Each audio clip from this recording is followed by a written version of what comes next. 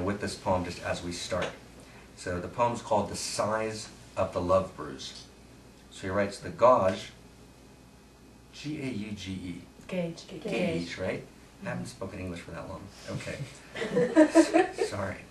The gauge of a good poem, and we're going to call it the gauge of a good weekend. Right? The gauge of a good poem is the size of the love bruise it leaves Hmm. on your neck, or the size of the love bruise it can paint on your brain or your heart, or the size of the love bruise it can weave into your soul, or indeed, it could be all of the above. So blessings for sacred love bruises. They shouldn't hurt too much. They should be gentle, you know, to be struck by Cupid's arrow, but the arrow which isn't, you know, mischievous, as it is in the Greek tradition. For the Greeks, Cupid's arrow is completely capricious, meaning Mm. you're just walking through your life, minding your own business, and there's Cupid's arrow. Oh my God, that was the image of the Greek gods. In the kind of deeper tradition, right, Cupid's arrow is very specific.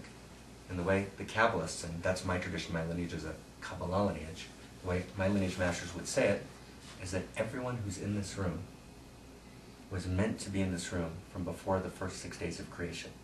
That the exact group of people came together who needed to create this infinitely unique moment in time, which never has been and which never will be. In Hebrew, the word time is zman, is invitation. We're invited to something here. Hmm. We're not sure quite what the full contours of the invitation are, but what I can promise, what we can promise together, what, what the time promises, is the time holds within it the eternity that resides in a moment.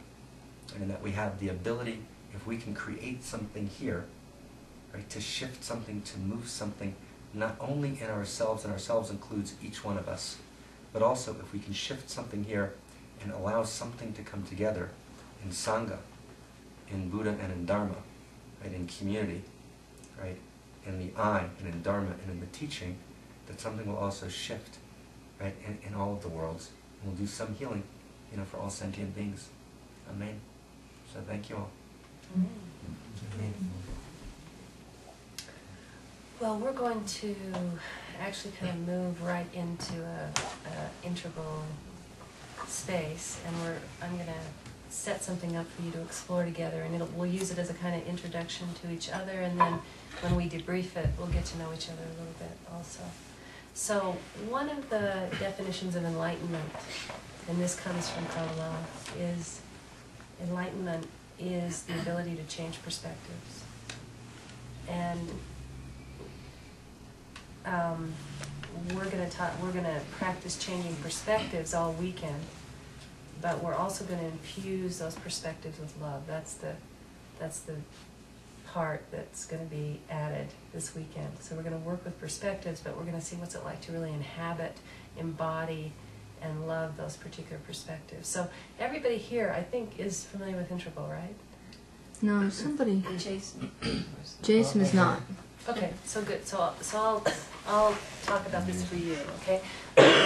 One of, probably the most, it might be the most significant insight of Ken Wilber's, and one, one that a lot of the work that we do with Integral, um, what it turns on and what, what it opens up is that language, language itself frames three really fundamental points of view in all languages, when we speak to each other, there are three reference points that get created.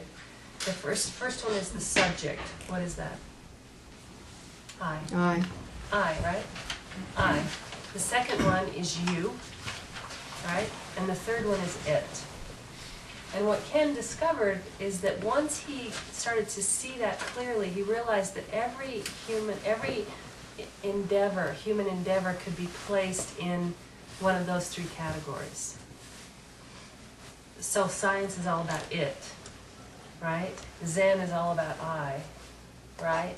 Um, mysticism, all devotional religion is second person. It's all about thou.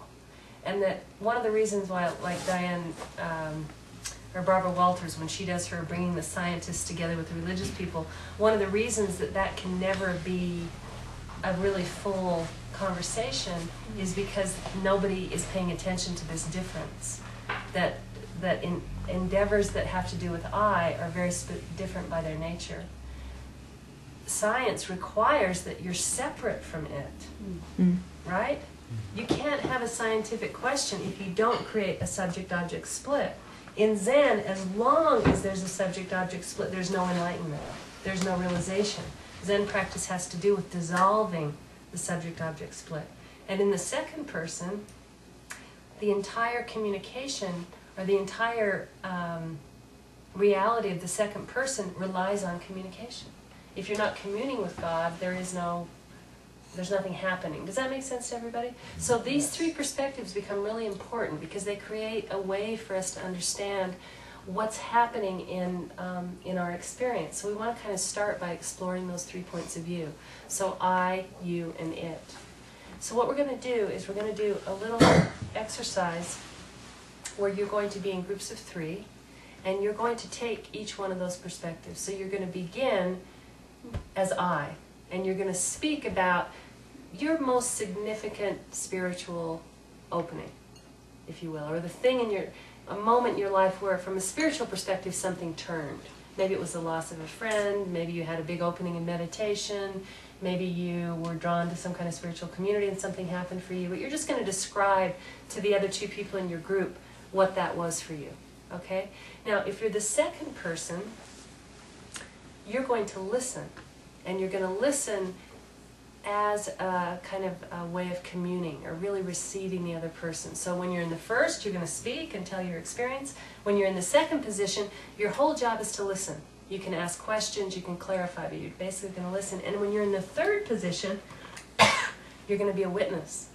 You're going to take the it, where you're not actually in the exchange, you're not referencing your experience, but you're just watching from a kind of neutral, objective point of view. So we're going to we're going to have an experience of these three different perspectives. Does that make sense? Yeah, maybe just to say, to, to pick up on, on what Diane's just kind of laid out so elegantly. The, these three faces of experience, this first person, second person, third person, which is one of the great ideas in perennial philosophy that, you know, Ken's really picked up and elucidated it beautifully. And it's a clear, it's what, you know, uh, you know, one of the things Ken likes to quote is Leibniz. Right? And Leibniz um, has his great idea of the philosophia perennis. And there's a great book that I actually just read for the first time this year by Aldous Huxley called The Perennial Philosophy. Just one of these fab. Mike actually by it, and he's, he's reading it now. Dan's husband, Michael. And in the Perennial Philosophy, you know, Leibniz talks about what are the great ideas that actually every great system in the world shared in common.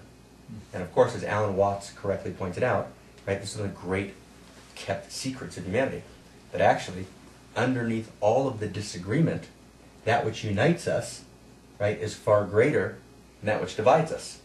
that there's actually a philosophia perennis, right, which actually unites. It's, an, it's a stunning idea. If we actually just stopped the entire weekend and just talked about that idea, like, oh my God, that there's actually agreement in the entire planet across geographical times and across temporal frames, temporal meaning time, that everybody actually agrees about 10 major things.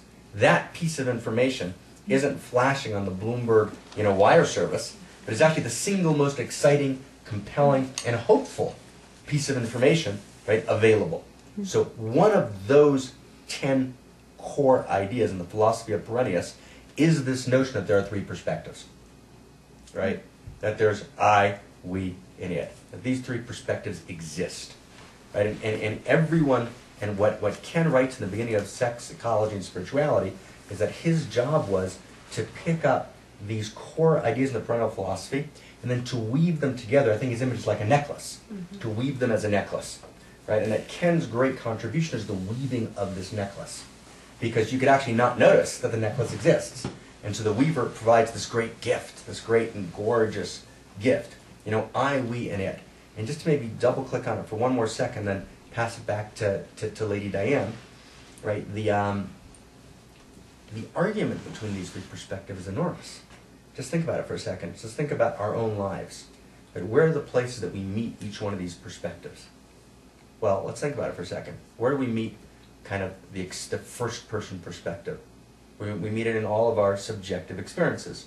Right? That's our place of subjective experience. That's first person subjective experience. You know, in religion, which we'll talk about more on Sunday.